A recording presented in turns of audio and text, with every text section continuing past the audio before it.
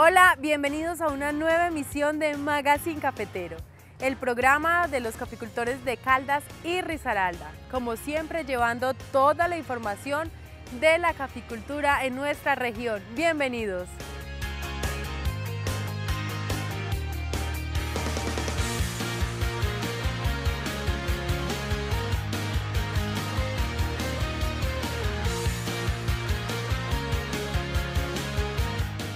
Iniciamos Magazine Cafetero con un recorrido por el municipio más turístico de Risaralda. Les estamos hablando de Santa Rosa de Cabal. Se caracteriza por su chorizo y además por los termales. En este recorrido los invitaremos a tomar un café con un grupo de personas que queremos destacar hoy aquí en Magazine Cafetero.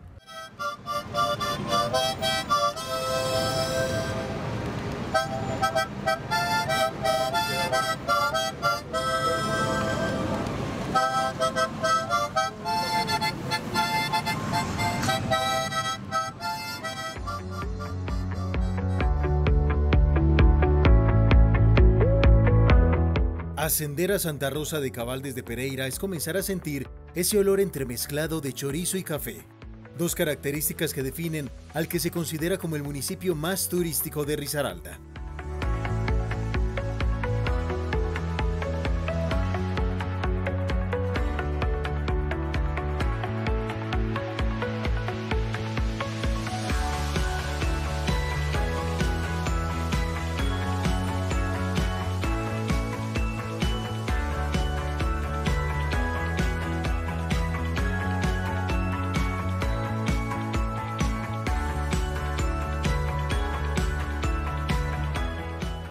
Las tiendas de café especializadas toman fuerza en el municipio de Las Araucarias y sobre todo aquellas que forman parte de un proyecto de emprendimiento social de inclusión e innovación cafetera.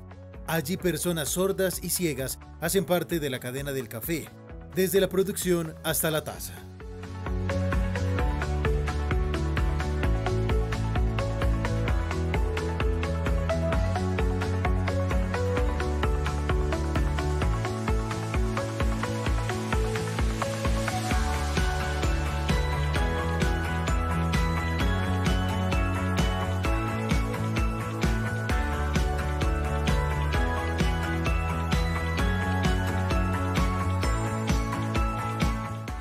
Es una invitación muy especial a toda la ciudadanía que vengan a visitar este encanto de municipio.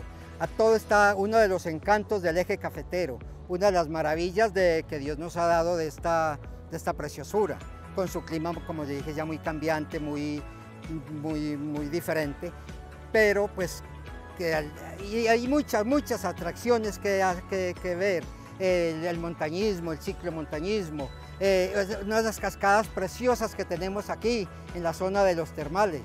Entonces los invito a, y a montar en bicicleta, que, usted, que, que, que es, es un encanto, es una maravilla.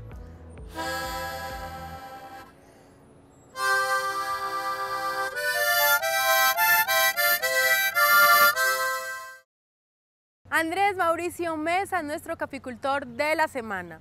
Él llegó hace ya 15 años al departamento de Risaralda y se ha caracterizado por su compromiso con la renovación de sus cafetales, utilizando variedades como Castillo y Cenicafé 1.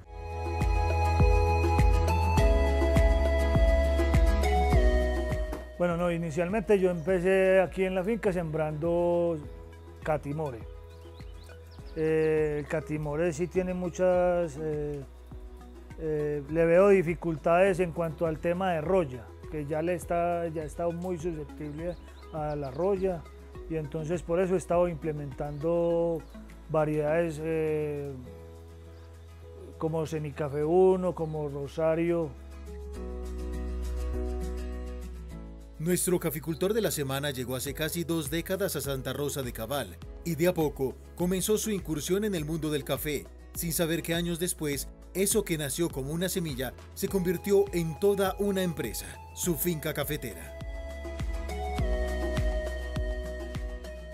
Eh, yo aquí encontré mucho, mucha, mucho caturro, la finca estaba eh, eh, muy vieja los cafetales.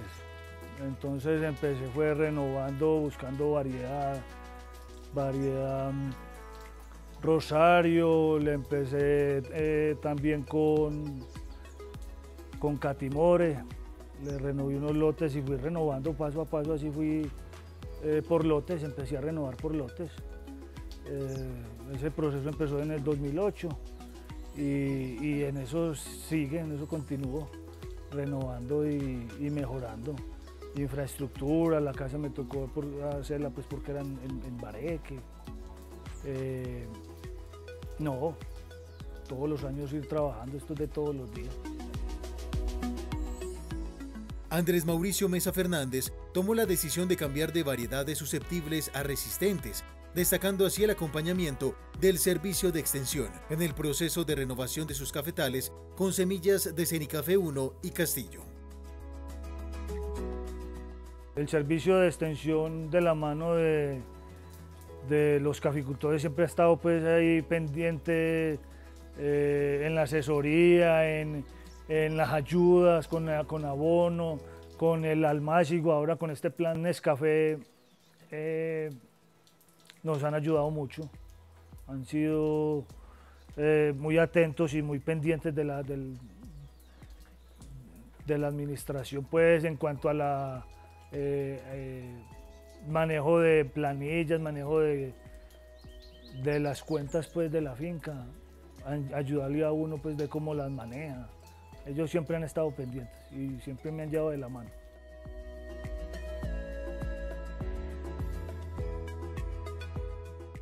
Eh, me estuve con el plan Nestlé que eh, sembrando Café 1 en estos lotes de acá abajo del, pie de la finca. Eh, he estado también, eh, sí, con el naranjal, con el eh, Rosario con la variedad Rosario, me ha ido muy bien. Encuentro pues que son muy productivos, encuentro muy, muchas bondades en estos cafés, la resistencia de la roya. Lo que no tenía pues con el Caturro, el Caturro tiene sus, sus ventajas y sus, sus fortalezas, pero, pero he estado muy contento con estas, con estas nuevas variedades. Me ha ido bien con, Cenicafé 1 ahora que la tengo en, para primer cosecha, eh, la veo que está muy cargada, muy, muy bonita.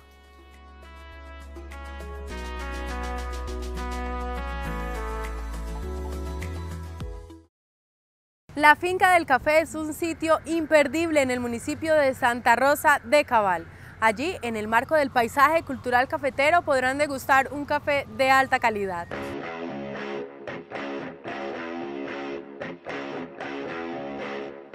la finca del café, eh, que está situada en la vereda Huacas de Santa Rosa de Cabal. Este es un proyecto familiar que lleva ya 10 años y donde hemos trabajado muchísimo por el turismo de la región. Eh, empezamos con el hotel, es un pequeño hotel estilo boutique con nueve habitaciones donde caben máximo 30 personas. Eh, de un solo piso, muy confortable, donde se respira mucha paz y se sienten los sonidos de la naturaleza.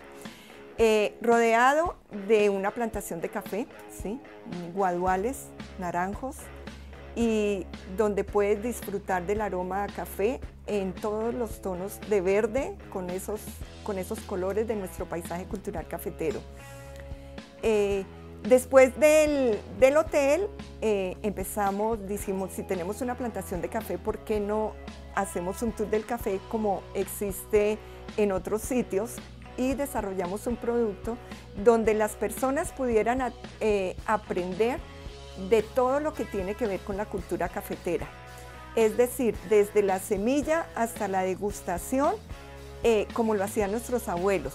Entonces las personas vienen, les colocamos un poncho, un sombrero, un canasto, ¿sí? Y desde la semilla, eh, luego pasan al, eh, pues mira cómo crece el fosforito, luego la chapola, luego el cafeto, cuando ya se va a sembrar al cafetal, y allí, cuando ingresan al cafetal, recolectan café. Esto para ellos es una experiencia desestresante, muy interesante y donde a veces hasta que no llenan el café no quedan contentos y no continúan con su recorrido. Decidimos abrir el, el café que estaba situado en el área privada de nuestro salón de eventos y pues nunca se había abierto al público. Entonces dijimos, vamos a vender café y tortas, a ver si alguien viene y nos visita, ya que eh, en esta vereda, Huacas, no había ningún tipo de turismo. Así que eh, abrimos y resulta que esto fue éxito total. Pensamos que la mejor manera de atraer al público local y regional sería abriendo el café y eh, que probara nuestro café especial de origen. Entonces dijimos, abramos el café y le colocamos también unas malteadas, eh, un granizado. Bueno, nosotros vimos que la gente venía, entonces dijimos, bueno, ¿y por qué no sacamos, no construimos un bar que vengan a disfrutar de una cerveza artesanal, de unos cócteles? Así que construimos el bar, lo construimos en, un contenedor, eh, lo reutilizamos. Siempre ha estado nuestro mirador porque antes de que estuviera el salón de eventos y el café estaba el mirador en Guadua fue construido por un campesino que vive aquí en la vereda cercana de La Viga. Todo un artista de, la Guadua. Nosotros este año, el 31 de marzo, abrimos ya el restaurante al público con comida gourmet, un tipo de comida diferente que no lo había en esta región. Todo lo que hemos hecho alrededor del café, del turismo y pues hemos hecho crecer no solo el sitio, sino también a Santa Rosa de Cabal.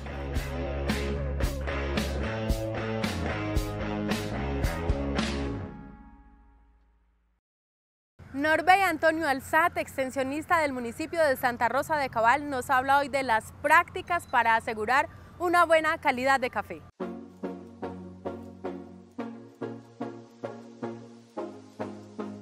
Amigo caficultor, el día de hoy vengo a hablarles de un tema muy importante y son las siete prácticas claves en el beneficio y secado para la calidad del café. Primera, asegure la calidad de la recolección del café. Eh, recuerde que una buena recolección debe contener en su mayoría frutos maduros y menos de un 2.5% de frutos verdes. Segunda práctica, procese cada lote de café recolectado de manera independiente. Esta decisión le ayudará a mantener la calidad del café al no hacer mezclas de café de diferentes días de recolectado. Tercera práctica, eh, retire frutos y granos de inferior calidad. Entonces clasifique antes y después del despulpado y después del lavado. Eh, con el fin de retirar los frutos brocados, vanos, y secos. Esto le asegurará tener una masa de café más homogénea y de mejor calidad. Cuarto, realice el mantenimiento, la limpieza y la calibración de la despulpadora y demás equipos dentro del proceso.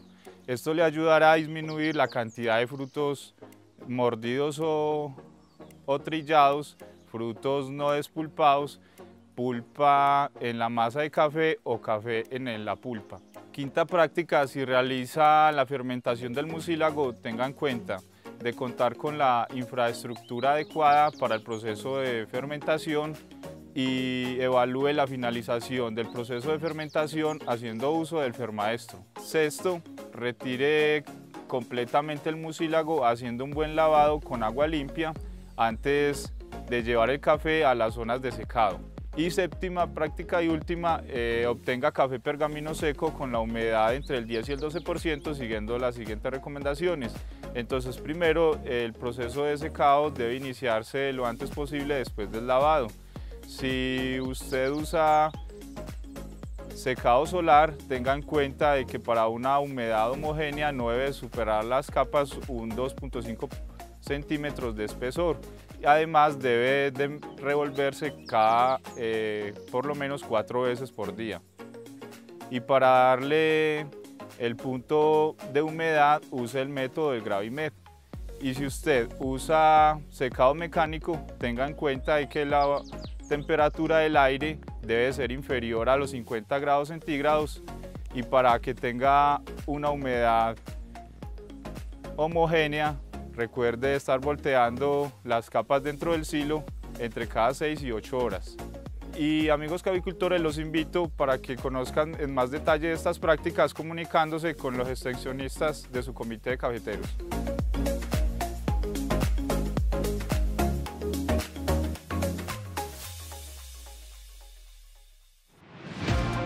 Concurso de cuento Aventura Mágica en el Paisaje Cultural Cafetero. ¿Quiénes participan? Todos los niños, niñas y jóvenes de las instituciones educativas de los 51 municipios que conforman el Paisaje Cultural Cafetero de Colombia. Categoría infantil de 8 a 12 años. Categoría juvenil de 13 a 18 años. Presenta tu cuento en la institución educativa hasta el 30 de agosto de 2021. Expresa en un cuento lo que significa para ti vivir en el paisaje cultural cafetero. Paisaje Cultural Cafetero de Colombia. La magia es vivirlo. Bases y condiciones del concurso en www.paisajeculturalcafetero.org.co. A continuación, los logros más importantes de la institucionalidad en nuestra sección Hechos Cafeteros. Con una inversión que supera los 20 millones de pesos, se entregaron más de 78 mil colinos de café. A través del programa Nescafé Plan se invirtieron más de 70 millones, entregando más de 225 mil colinos de café. Para el fortalecimiento de la infraestructura de beneficio en el municipio de Santa Rosa de Cabal se entregaron 27 máquinas despulpadoras y 9 silos a gas. En Santa Rosa de Cabal tenemos 5.540 hectáreas en café. Eso quiere decir que Santa Rosa es el tercer municipio cafetero del departamento, ¿cierto? Tenemos 1.179 caficultores, tenemos 1.373 fincas cafeteras, un promedio de 3.8 hectáreas en café por cada caficultor. Es muy importante decir que Santa Rosa es uno de los municipios más tecnificados del departamento y obviamente del país. Tenemos un hábito de renovación bastante arraigado en los caficultores y eso es muy bueno porque nos mejora la productividad y la rentabilidad en las fincas cafeteras. Alrededor de 12-13% del área en café se está renovando cada año. Tenemos una edad de la caficultura en promedio de 5.42 años y en este momento estamos en 5.409 plantas por hectárea, un poquito por encima del promedio departamental y tenemos la meta pues de, seguir subiendo porque lo ideal es tener cafetales entre 6.000 y 7.000 plantas por hectárea. Eh, otro tema importante es el de las mujeres. En Santa Rosa tenemos alrededor del 33% de las mujeres cafeteras. Son 395 mujeres cafeteras. Se invirtieron 5 millones de pesos para el mejoramiento de algunas viviendas damnificadas por la ola invernal en el municipio. Un agradecimiento muy especial a nuestros cooperantes, al Comité Municipal de Cafeteros de Santa Rosa y al Comité Departamental, a nuestro servicio de extensión y por supuesto a ustedes caficultores. Juntos hacemos una caficultura más productiva, más sostenible y de mejor calidad.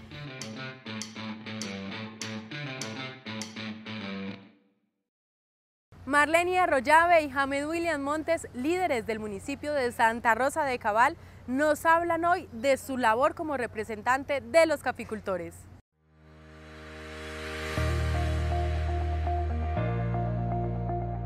A través del Comité de Cafeteros nosotros hemos traído, hemos venido ejecutando varios planes como son eh, el apoyo al caficultor con, la, con los almácigos de café, en infraestructura de, de beneficiaderos, de marquesinas, maquinaria, todo eso se ha venido entregando. También en una calamidad que hubo el año pasado por un problema de, una ola invernal, también unos caficultores se vieron muy afectados por, la, por granizadas y, nosotros a través del Comité de Cafeteros de Santa Rosa se gestionó ante el Comité Departamental y se trajo un dinero en que se les entregó a ellos en incentivos para otra vez volver a empezar con su, con su producción como tenía que ser. En cuestión de calamidad también hemos aportado y es cuando, por ejemplo, cuando hubo tanta esa calamidad y que pasaron tantas cosas, las casas muchas se fueron al suelo, se les cayó el techo, entonces también pusimos algo de presupuesto para solucionar esas, que también fue algo que se vio y se, que para mí me parece que la parte social es algo que se ha sabido manejar muy bien por el Comité de Cafeteros. Como representante del Comité Departamental y presidente de la Asociación de Pequeños Caficultores de Alta Calidad de Santa Rosa de Cabal, venimos impulsando importantes proyectos en beneficio de nuestra comunidad cafetera. De hecho, tenemos que resaltar esa propuesta eh, turística como es la finca más grande del mundo, Parque Temático Abierto Magia Montañera, que venimos desarrollando desde Santa Rosa de Cabal. E igualmente eh, eh, ese laboratorio de, de catación de café en donde venimos trabajando en obtener maquinaria con tecnología de punta para tener eh, el mejor centro de tostión de cafés de alta calidad de la región, proyectando en tener caficultores empresariales sostenibles de valor agregado para mercados internacionales. Desde el Comité Municipal se vienen desarrollando importantes eh, programas. Yo quiero destacar eh, el tema de guadañas. Le vamos a entregar guadañas a nuestros caficultores ya que eh, la mano de obra se ha vuelto difícil y quien vaya a limpiar las fincas está difícil. Necesitamos meterle tecnología a nuestro sector agropecuario y a nuestra caficultura para que tengamos caficultores eh, técnicamente eh, trabajando y sigamos haciendo ese ejercicio desde nuestra finca.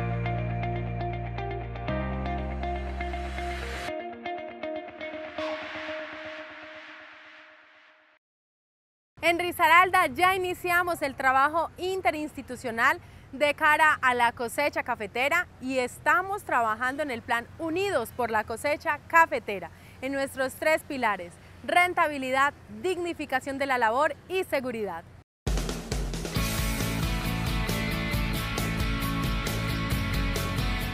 Este plan cosecha, este, esta unión interinstitucional nos va a permitir tener una cosecha biosegura y una cosecha segura. Esto es una fiesta, tiene que ser la fiesta cafetera, la fiesta en un momento de dificultad, donde los cafeteros queremos ir por la cosecha cafetera de la mano con cada una de las localidades, con el señor alcalde, con los alcaldes del departamento, con las entidades de salud y con todo el gremio cafetero a ir por esa cosecha. La cosecha del departamento tiene un valor cercano, esta del segundo semestre, a los 500 mil millones de pesos.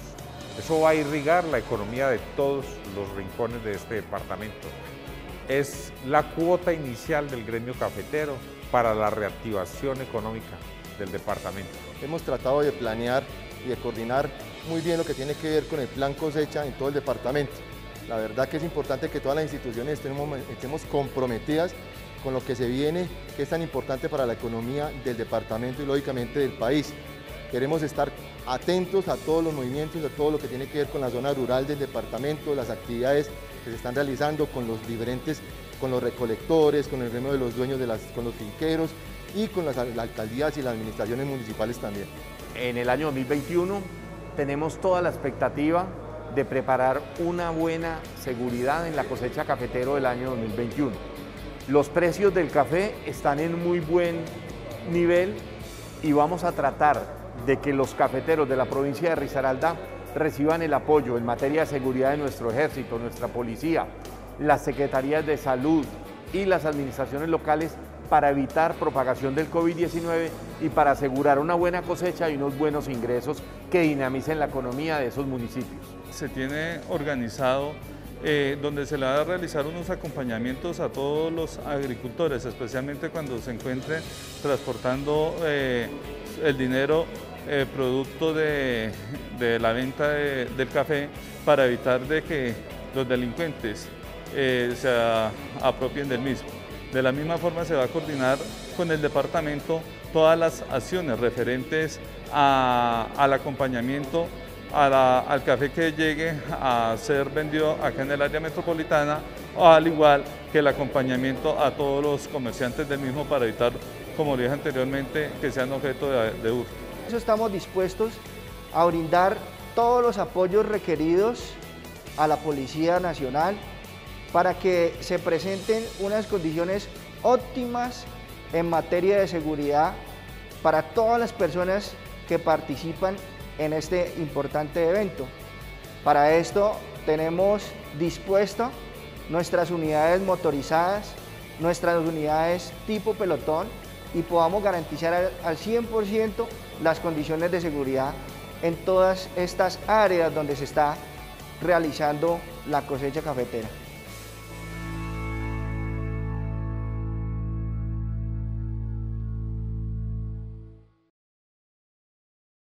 Nuestra tienda Risaralda Diversidad de Perfiles, ubicada en el sector de Condina, fue reinaugurada y está estrenando horario nocturno.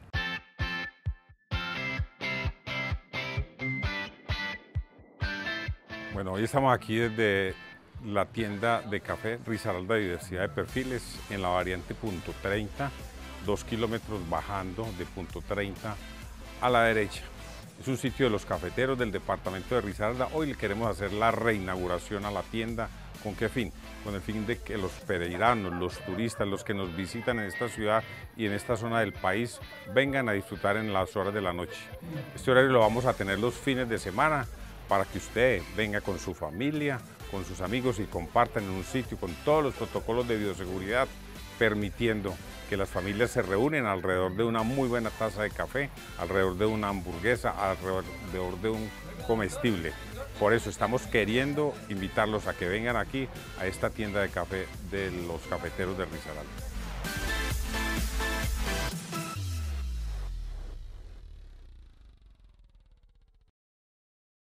Gracias por acompañarnos en este recorrido por la caficultura de Risaralda. Recuerda que estas y muchas más noticias las pueden consultar en nuestra página web y en nuestras redes sociales. Estamos como Comité de Cafeteros de Risaralda en Facebook, Twitter e Instagram.